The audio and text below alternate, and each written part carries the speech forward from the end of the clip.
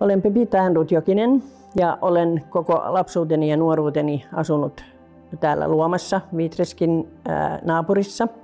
Ja Vitresk on aina alussa tarinoiden kautta kuulunut elämääni ja myöhemmin myöskin sillä lailla, että olin jo 15-vuotiaana täällä haravoimassa pihaa ja pikkuhiljaa sitten pääsin sisätöihin ja, ja olen tässä museossa ollut ö, oppaana ja sitten ö, yli, vähän yli 20 vuotta niin museon hoitajana. Ja tällä hetkellä toimin Vitreskin asiantuntijana ja, ja vedän erikoisopastuksia ja Vitresk on aina minun sydämeni talo. Arkkitehdit Eliel Saarinen, Herman Giselius ja Armas Lindgren ää, olivat vastavalmistuneita arkkitehtejä. Ja vuonna 1896 he päättivät perustaa yhteisen arkkitehtitoimiston Helsinkiin. Ja, ja saivat jo alussa aika paljon töitä, koska olivat vähän erilaisia. Heillä oli hyviä uusia ideoita ja, ja kansallisromantiikka oli silloin vahva ja tietysti Saksasta tuli Jugend ja, ja Etelä-Euroopasta Art Nouveau ja noin, niin ähm, heillä oli, oli töitä alusta saakka. Ja niin kuin niin moni taiteilija siihen aikaan, niin myöskin nämä kolme halusivat maaseudun rauhaa. Ja äh, 1901 he suunnittelivat huvilan nimeltään Viittorp, tämä Viitreskjärven rannalla. On tuolla etelässä ja, ja silloin he löysivät tämän järven. Eikä äh, moni kysy, että miksi ei Tuusulanjärvi, mutta heidän mielestä Viitreskjärvi oli hyvä paikka ja saivat ostaa 16 hehtaaria maata. Ja sitten äh, he rakennuttivat yhteisen ateljeen ja kaikilla oli oma talonsa. Eli tämä päärakennus oli Elie Saarisen perheen koti, sitten pohjoispääty oli Armas Lindgrenin koti ja sitten pihan toisella puolella sijaitsee niin sanottu pieni huvila eli Lillavillan, niin se oli Herman Giseliuksen koti. Arkijuttu ei ollut se, että ihan alussa kun he muuttivat tänne, Elien Saarinen oli naimisissa Matilda Saarisen oman sukua Jyldenin kanssa – ja Herman Geselius sai pie, pienimmän huvilan, koska hän oli poikamies. Hyvin pian hänen sisarensa Loija, joka oli opiskellut Pariisissa, tuli tänne Vitreskiin. Ja äh, sitten tapahtui semmoinen asia, että Elie Saarinen rakastui Loija Geselykseen, koska Loija oli taiteellinen ja tuli paljon tähän ateliehen äh, katsomaan ja tekemään omia töitään. Ja Herman Geselius sairasti aika paljon, hän kuoli 1916 sitten tuberkuloosiin, niin hän vietti aikaa Saarisen vaimon Matildan kanssa, joka ei ollut kiinnostunut arkkitehtuurista, vaan mieluummin käveli tällä ympäri hienoissa vaatteissa ja, ja äh, hänellä oli ikävä Pariisiin. Ja sitten tapahtui niin, että äh, naiset vaihtoivat taloa. Ja he menivät naimisiin nämä pariskunnat samalla viikolla ja elämä jatkui ja kaikki oli ihan hyvin. Ja, ja täällä kävi hyvin paljon ö, taiteilija- ja arkkitehtiystäviä ihan eri puolilta maailmaa.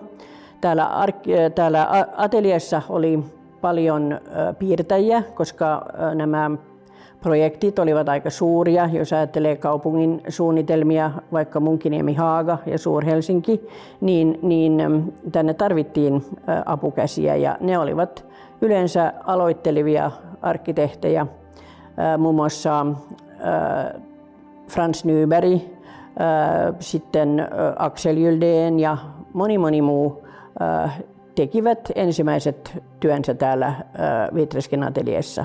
Muun muassa professori Otto Ivari Mörman tuli tänne 1914 piirtämään Munkkiniemen Haagaa ja, ja hänet olen itse tavannut, hän kuoli 104-vuotiaana.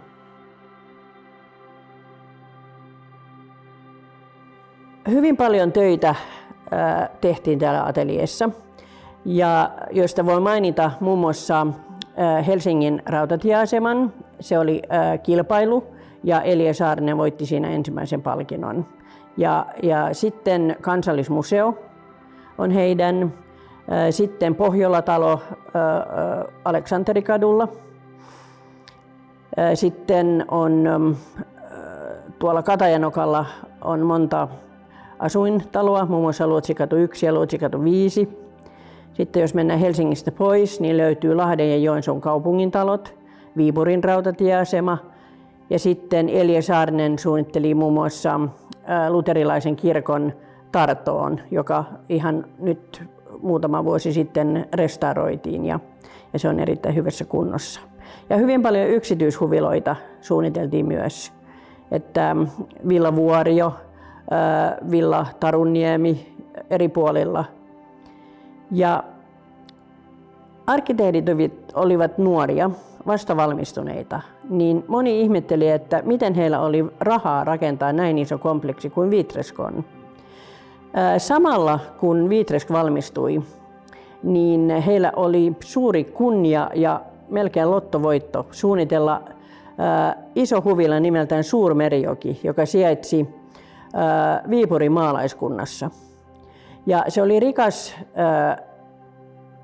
he, liikemies nimeltään Neuscheller, Maximilian Neuscheller, joka oli saanut yksin myynnin, kumin yksin myynnin Venäjällä. Eli, eli hän rikastui aivan valtavasti. Ja hän oli kuullut näistä arkkitehdeistä ja hän halusi perheelleen, heillä oli muistaakseni kahdeksan lasta, kesähuvilan. Ja silloin hän otti yhteyttä näihin arkkitehteihin ja, ja sitten suunniteltiin Suurmerijoen kartano. Ja heillä oli täysin vapaat kädet. Eli he saivat suunnitella ihan kaikki. Eli ensin suunniteltiin tuo valtava rakennus, kaikki huonekalut, kaikki taideteokset. Loje Saarinen oli mukana, hän oli myöskin veistostaiteilija. Felix Nylund teki Loje Saaren kanssa yhdessä paljon veistoksia. Suomen käsityön ystävät oli mukana suunnittelemassa tekstiilit ja, ja siitä tuli niin todella hieno kokonaistaideteos, niin kuin Vitreskin on, mutta paljon pienemmässä mittakaavassa on Vitresk.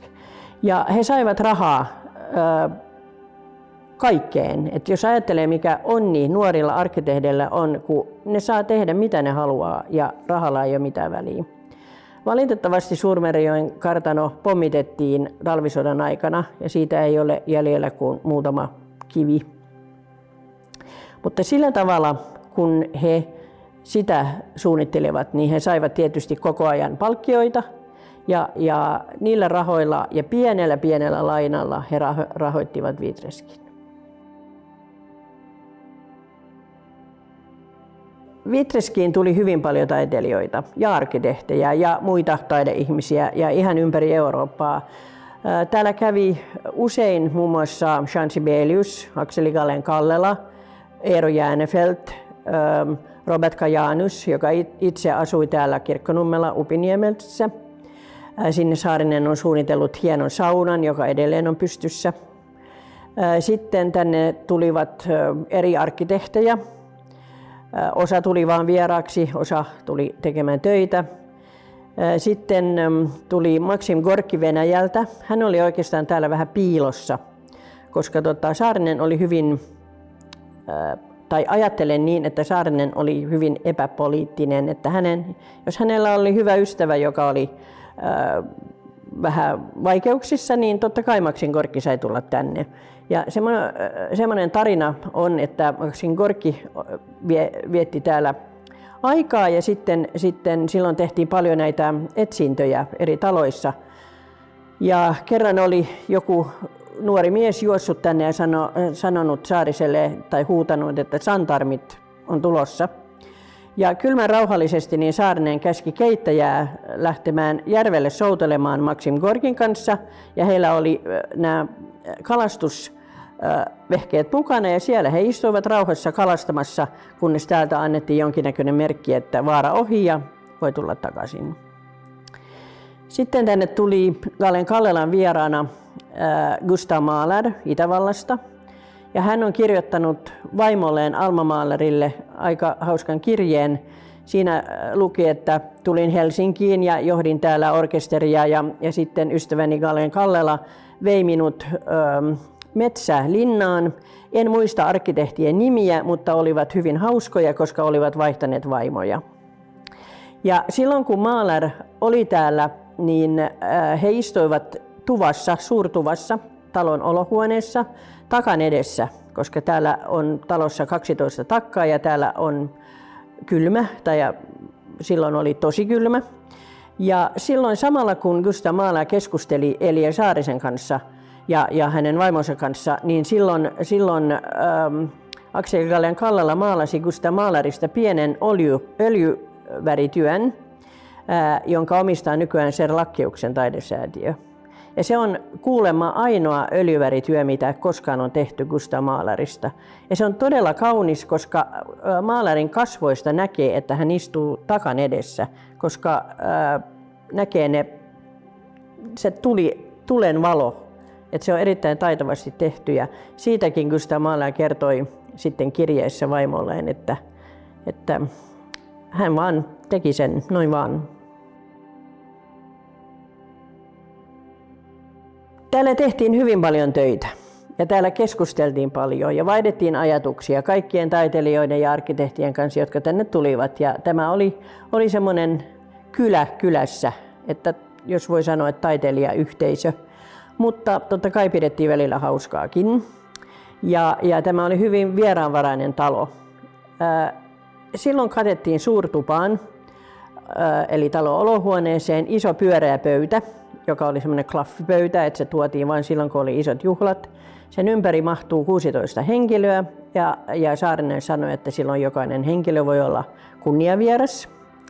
Ja täällä riitti ruokaa, täällä riitti juomaa ja tuvassa on myöskin yhdet takan edessä yhdet renkaat, jotka ovat nimeltään viskirenkaat. Ja tarina kertoo, että niin kauan kuin niissä renkaissa pysyi, sai olla mukana juhlimassa ja juomassa, mutta jos ei pysynyt renkaissa, siis ei enää voinut pitää kiinni, niin silloin oli aika mennä nukkumaan. Ja myöskin Aino, Aino Sibelius on kertonut, että hänen miehensä tuli tänne Vitreskin usein ja vietti hyvin pitkiä aikoja kin, josta Aino ei ollut hirveän tyytyväinen. Ja Vitreskin silloinen kuski kertoi, että kun hän meni rautatieasemalle, Luoman asemalle vastaan Sibeliusta, niin jos hänellä oli yksi paperikassi mukana, hän tiesi, että hän on vain kaksi-kolme päivää, mutta jos oli kaksi, paperikas, kaksi paperikassia mukana, niin silloin hän oli pidempään.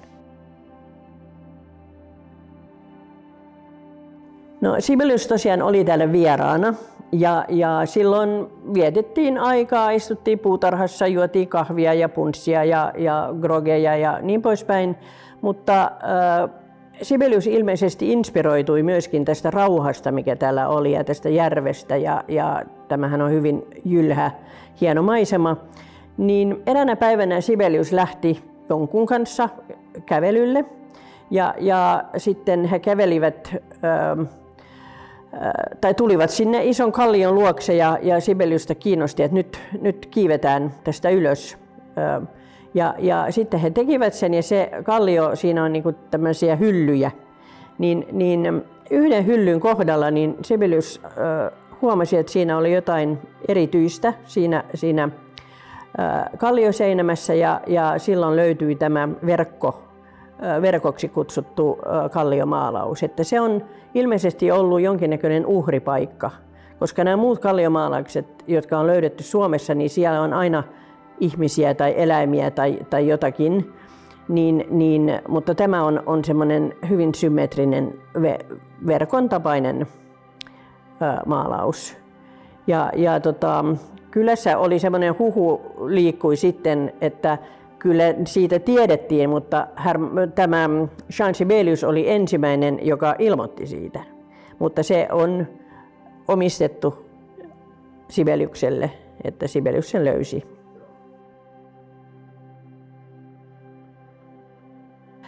Vitresko on kokonaistaideteos. Se tarkoittaa sitä, että kaikki mitä näkee täällä ympärillä on suunniteltu juuri siihen paikkaan, missä joku huonekalu seisoo, tai, tai kaikki käden tämmöiset oven kahvat, kaikki pienet detaljit on tehty juuri tänne ajatuksella. Ja, ja Vitreskhän on kansallisomanttinen rakennus. Täällä on yksi symboli, joka toistuu monessa paikassa. Se on tämmöinen ympyrä. Se, se kuulemma on ikuisuuden symboli. Se ei koskaan lopu. Sitten täällä on symboleina myöskin eri huoneissa torni ja, ja tämmöinen kivitorni, joka on tuon piha- tai pienen huvilan torni, ja ruusut. Ja se oli kuulemma Eliel ja Lojesaarisen yhteistyön symboli e, ja, ja yhteisen elämän symboli. Ja se näkyy muun muassa ryijyissä ja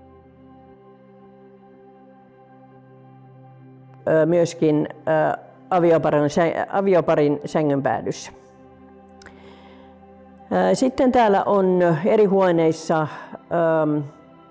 kaakeliuuneja, niitä oli 12 kappaletta. Suurin osa kaakeliuuneista ja kaakeleista on tehty Wilhelm Ansteinin kaakeliuunitehtaalla Helsingissä. Ja sitten osa uuniluukuista ovat Oy Kasteen ABn tekemiä, myöskin helsinkiläinen tehdas. Mutta sitten täällä oli yksi vieras, ehkä ylitse muiden, Erik O.V. Erström ja hänen vaimonsa Olga Erström. Erik Erströmiä sanottiin Buklaniksi, koska hän oli taiteilija, joka käytti mitä vaan materiaalia, mutta hyvin paljon kuparia. Ja kun täällä puhuttiin ruotsia, niin kun sitä kuparia hakataan, niin siihen tulee tämmöinen bukla, niin kuin sanotaan ruotsiksi. Ja siitä tämä nimi. Ja, ja hyvin moni uuniluukku täällä on Erik Ersemin tekemä. Ja sitten meillä on hyvin kaunis lasimaalaus ruokasalissa, jonka on maalannut Olga Gumerus-Erström. Ja se maalaus kuulemma kertoo siitä niin sanotusta vaimojen vaihdosta. Eli siinä on, on tämmöinen prinsessatyylinen nainen istuu keskellä ja, ja sitten oikealla puolella on, on ää, yksi linnan herra ja toisella puolella toinen linnan herra ja he soittavat tälle, tälle neidolle ja, ja neito sitten valitsee, että kumman ottaa. Ja, ja sitten huoneissa on, täällä alakerrassa on hyvin tyypillistä kansallisomantiikkaa, eli täällä Nämä huonekalut ovat hieman raskaampia ja tummasävyisempiä. Joka ikinen huonekalu täällä on Elie Saarisen suunnittelema. Mutta sitten kun mennään yläkertaan, niin siellä vaalenee. Siellä on, on paljon valkoisia tai luunvärisiä kalusteita. Yläkerta on jaettu neljään eri tasoon. Ensimmäinen taso oli vanhempien taso, toinen taso oli lasten taso, kolmas taso oli vieraiden taso kolmannesta tasosta tuli myöhemmin sitten, siinä jaattiin yksi huone, tuli isoisän huone ja Pipsanin huone. Ja sitten neljäs taso oli piirtäjien taso, eli siellä asuivat talon piirtäjät. Mutta lapset syntyivät 1905, eli silloin syntyi Pipsan, ja 1910 syntyi Eero. Niin sen jälkeen kun lapset syntyivät, niin piirtäjät, piirtäjät siirtyivät pieneen huvilaan, koska ähm, Lindgren oli muuttanut pois täältä jo 1906 ja silloin Herman ja Matilda Geselius muuttivat pohjoispäätyyn. Ja sitten pienestä huvilasta tuli vierastalo. Mutta jokaisessa huoneessa on paljon yksityiskohtia ja, ja kaikki nämä ornamentit sun muut, nehän on otettu suomalaisesta luonnosta, koska se kuuluu tähän kansallisomantiikkaan. Porkalan raja meni hyvin lähellä, eli noin pyöreästi kilometri tuonne etelään päin, mutta ehkä vähän alle, ehkä 800 metriä. Onneksi, koska muuten tämä olisi mennyt pilalle koko talo. Koska äh, siellähän tehtiin hyvin paljon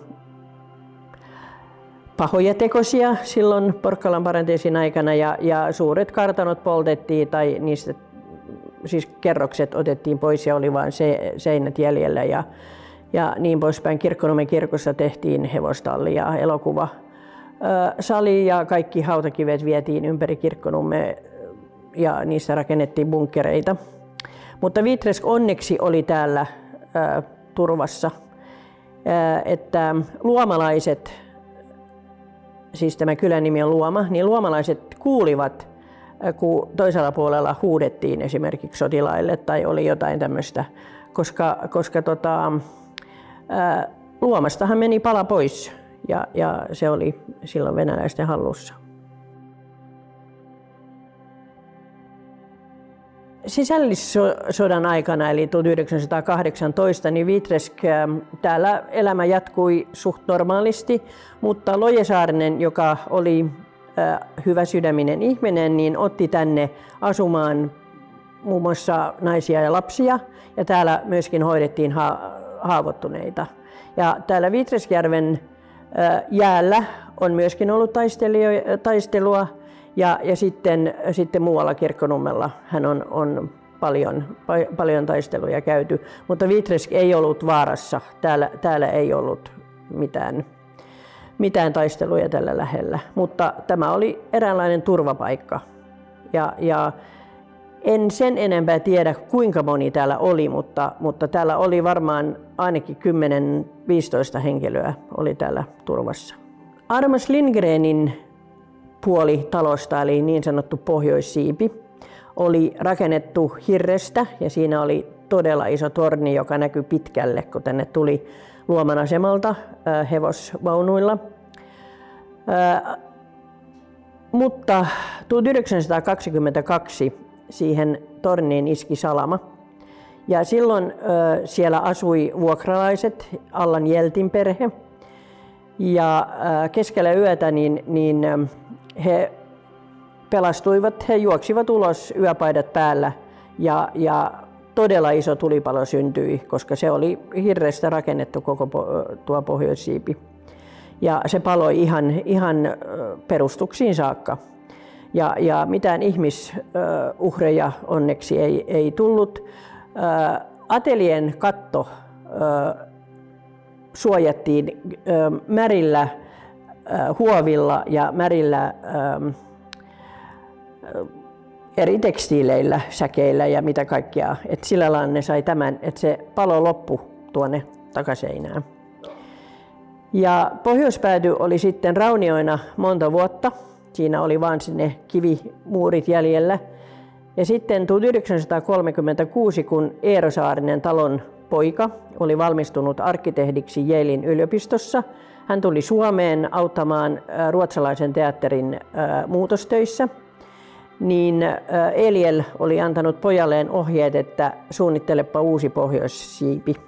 Ja Eero teki sen, eli nyt tämä pohjoissiipi, mitä vuokrataan muun muassa kokouksia ja, ja pieniä juhlia varten, niin se on Eero Saarisen ainoa rakennus Suomessa, joka on aivan, se on niin hyvin uniikki ja uskomaton, koska Eero ei ole suunnitellut Suomessa muuta. 20-luvun alussa niin Elie Saarinen, joka silloin oli, oli ostanut Lindgrenin ja, ja Geselyksen talot jo itselleen ja täällä oli vain Saarisen perhe plus kaikki työntekijät, niin 20-luvulla ei ollut hirveän paljon töitä, semmoisia isoja töitä, mitä Eliel olisi halunnut tehdä. Hän suunnitteli Suomen, Suomelle setelin, hän suunnitteli postimerkin, hän suunnitteli pienempiä huviloita.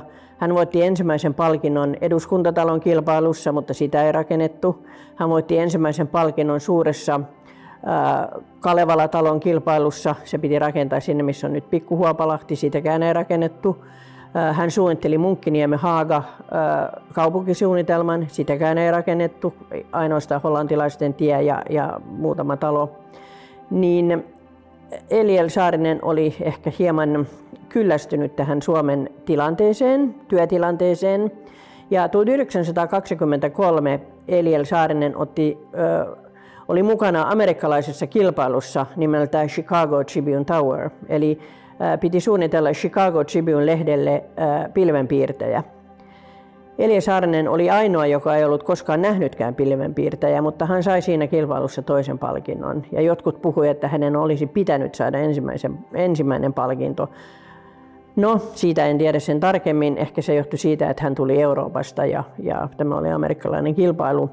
Mutta silloin äh, näillä palkintorahoilla Elie lähti yksin Chicagoon katsomaan työtilannetta ja sai siellä hieman työtä, jonka jälkeen hänet kutsuttiin Michiganin yliopistoon ää, pitämään esitelmiä arkkitehtuurista. Ja silloin perhe muutti perässä. Eli 1923 perhe muutti Amerikkaan Michiganiin ja sen jälkeen he tulivat tänne Vitreskiin ainoastaan kesäisin. Täällä asui ää, koko ajan sukulaisia ja vuokralaisia. Ja, ja tosiaan joka kesä, paitsi sotavuosina, niin, niin äh, Saarisen perhe tuli tänne. Ja ähm, no, Elian Saarinen suunnitteli koko Cranbrookin yliopistokampuksen, 360 hehtaaria. Se on edelleen olemassa. Valittiin kerran maailman kauneimmaksi kampukseksi. Ja Eero, joka oli 13-vuotias, kun he muuttivat sinne, kävi siellä koulua ja, ja valmistui arkkitehdiksi. Ja Eerohan oli varsinainen uranuurtaja, eli hän suunnitteli todella paljon erilaisia rakennukksia, jotka esimerkiksi tämän päivän Helsingin Sanomissa oli, oli tästä TWA-lentoterminaalista, jonka Eero suunnitteli, jota josta nyt tehdään hotelli. Äh, hän suunnitteli muun muassa General Motorsin koko ison ö, alueen. Äh, hän suunnitteli Archer St. Louisin, eli tämmöinen iso kaari, joka, joka on, on St. Louisin maamerkki tänä päivänäkin. Sitten TWA-lentoterminaalin, Dallas Paviliongin Washington DCissä ja paljon paljon muuta. Ja, ja Eero on se, jota kaikki amerikkalaiset tuntee. Ja minulle on kerrottu, että yleensä sanaristikoissa niin siinä lukee Saarinen ja silloin pitää kirjoittaa Eero. Ja tänä päivänä Vitreskin tulee hyvin paljon ö, ulkomaalaisia. Vitreskon on nykyään kesämuseo, eli tämä on auki toukokuusta ö, syyskuun loppuun. Ja voi sanoa, että melkein yli puolet on ulkomaalaisia koska Eliel hyvin tunnettu maailmalla, mutta Eero vieläkin tunnetumpi maailmalla. Ja, ja arkkitehdit ja, ja taiteilijat äh, tulevat tänne, koska tämä on semmoinen must-paikka heille. Ja, ja ulkomailla niin näitä isää ja poikaa tosiaan kunnioitetaan hyvin paljon.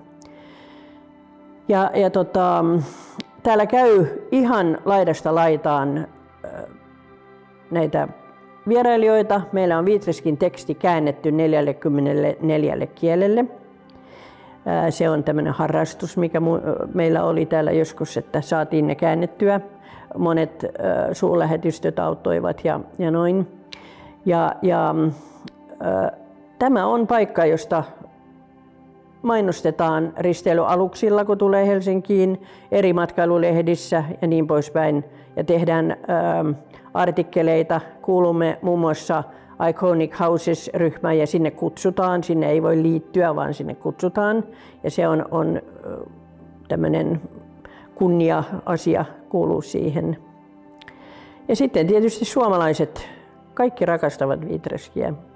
Et en ole koskaan saanut pahaa, huonoa palautetta talosta.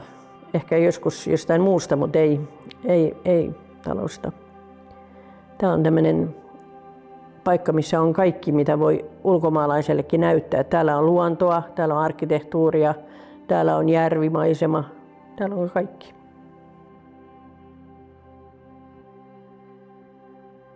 Kun astuu Vitreskin pihalle, niin ainakin minulle tulee semmoinen rauhallinen olo ja tuntee, että täällä on tosi hyvä energia.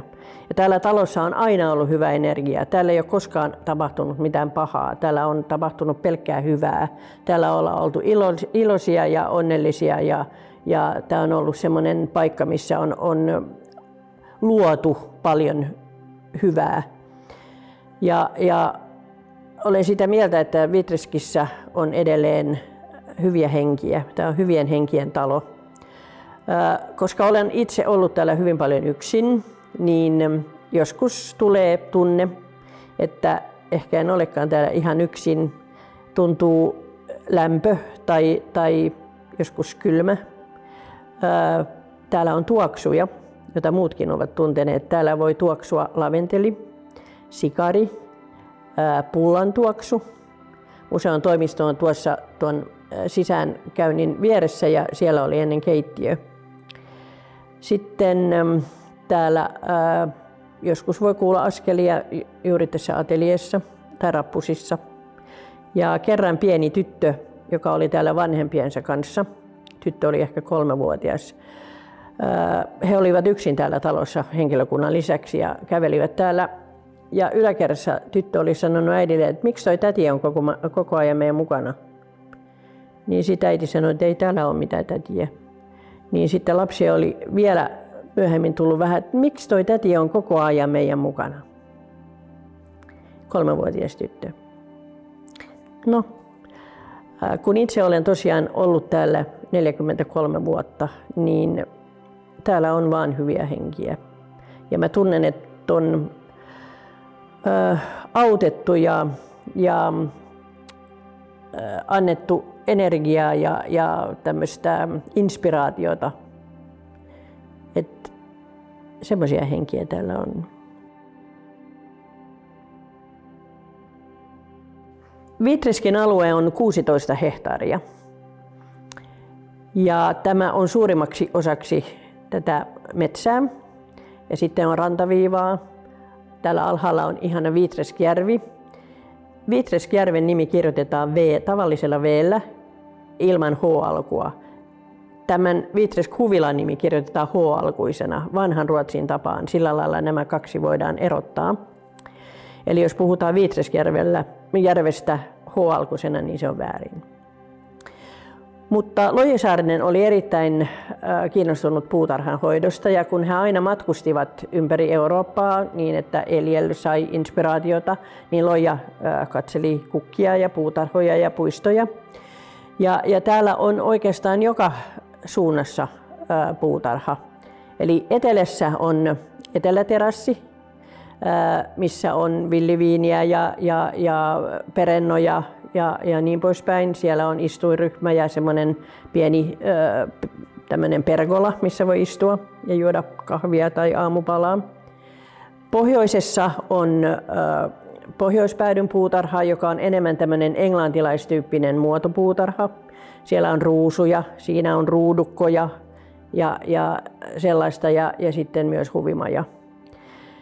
Sitten tämä on keskuspiha ähm, itä, idässä ja tässä pidettiin myöskin joskus näitä juhlia ulkona, jos oli hyvä il, il, ilma, niin pitkä pöytä ja kaikki istuvat siinä ulkona.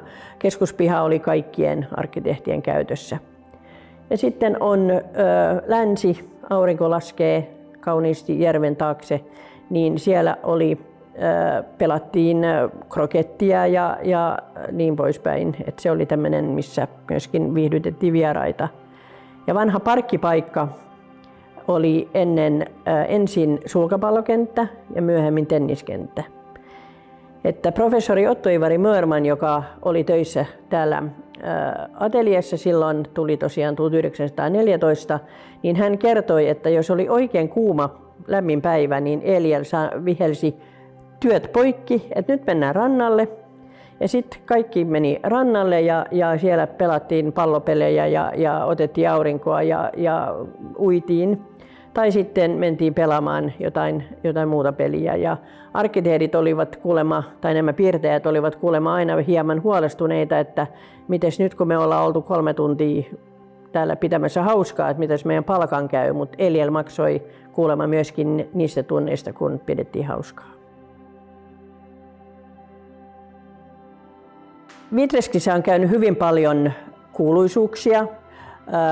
Tänne on tehty valtiovierailuun ja, ja, tänne on tuotu ministereitä, kuninkaita, prinssejä ja prinsessoja, presidenttejä. Ja sitten tänne on tullut ihan, ihan itsekseen eri filmitähtejä ja laulajia ja niin poispäin. Minulla on itsellä semmoinen hauska muisto, kun ennen oli semmoinen limusiinikuljettaja, joka toi tänne tämmöisiä tärkeitä pariskuntia, jotka siis, tai sanotaan rikkaita pariskuntia, jotka halusivat oman sightseeingin. Ja kerran tämä limusiinikuljettaja tuli tuohon eteeseen ja sano, sanoisi, sanoi, että minulla on mukanani yksi amerikkalainen, että ehditkö näyttää hänelle taloa? Joo, kyllä, sanoin. No mutta me mennään syömään ensin ja tullaan sitten. Joo, kyllä sopii ihan hyvin. Ja hetken tai ehkä tunnin päästä he tulivat takaisin ja, ja vieressä oli John Travolta, kuuluisa näyttelijä. Hetken aikaa mä vähän sanotaan, että menin, menin hiljaiseksi, mutta tota, hän oli oikein mukava ja kiinnostunut ja oli pyytänyt kuljettaja, että hän vie hänet ää, suomalaisen luonnon lähelle. Hän halusi nähdä metsiä ja järviä. Ja kuljettaja, joka aina toi tänne, niin ajatteli, että tuodaan Travolta tänne ja Travolta viihtyi hyvin paljon. Mutta sitten täällä on ähm, ollut tosiaan äh, kuningas Kaalekustaa ihan nuorena kuninkaana ennen kuin hän edes oli naimisissa. Ja, ja sitten Silvia ja Victoria kävi täällä äh, 90-luvun loppupuolella. Täällä oli kaikki Luoman alakoululaiset ja päiväkotilaiset vilkuttamassa lippujen kanssa. Täällä on käynyt monen monen maan presidenttejä, en edes muista kuinka monen. Tanskan kuninkaalliset on käynyt, sitten arabimaista on käynyt tämmöisiä suuria herroja, en edes tiedä, sultaaneja, sitten täällä on ollut äh, Japanin prinssi ja monta monta muuta. Mulla on tämmöinen suhdetalo, kun mä on, on äh, silloin kun Saariset sit möi talon, niin täällä asui 20 vuotta semmoinen vuorion perhe. Ja, ja se, niillä oli täällä vuokralaisia ja kaikki. Sinne tänne ei saanut tulla. Mutta täällä asui Hollannin suurlähettilään perhe, jolla oli kahdeksan lasta seitsemän poikaa ja yksi tyttö. Ja ne oli aina tuolla rannalla. Ja kun meidän Tyriksen kartanoon kuului myöskin ranta tuolla vieressä, niin rantaosuus, niin, niin me oltiin lapsena kanssa siellä uimassa ja sitten me tutustuttiin näihin hollantilaisiin lapsiin ja sitten me niinku leikittiin, mutta me ei koskaan saatu tulla tänne ylös, vaan me oltiin tuolla rannalla, koska se vuorian rouva oli niinku, että ei, tänne mitään ketään. Mutta sitten 68, kun ne meni konkurssiin, niin mä tulin mun isoisän kanssa tänne ylös. Mä olin silloin 13-vuotias. Ja, ja tota, täällä oli tämä huutokauppa ja mä tulin tänne näin ja mä katsoin tätä, että wow. Sen jälkeen mä oon ollut myyty. Ja sitten tosiaan mulla oli onni. 71 tulin tuohon ravintolan keittiöovelle kysymään, että onko täällä jotain töitä, ja mulle iskettiin harava käteen. Ja sen jälkeen mä olin täällä kaikki koulun kesälomat ja viikonloput. Ja, ja koska mun äiti oli täällä museossa töissä ensimmäisenä museojohtajana, niin sillä lailla mä sitten pikkuhiljaa myöhemmin pääsin niin kuin tänne oppaaksi, ja kunnes äiti sitten jäi pois yhdeksän seitsemän, niin sen jälkeen mä olin täällä museohoitajana, kunnes sit organisaatiomuutoksen takia viisi vuotta sitten siirryn kansallismuseoon. Tämä on ollut mun koko elämä ja tämä on edelleen mun elämä ja mun työ niin kuin, ja sitten mun harrastus, koska mä harrastan arkkitehtuuria ja tämä Jugend, kansallisromantiikka, Art Nouveau on se ykkönen, että Mä voin puhua tästä vuorokauden. Et siksi aina hyvä, kun joku sanoo, että nyt loppu.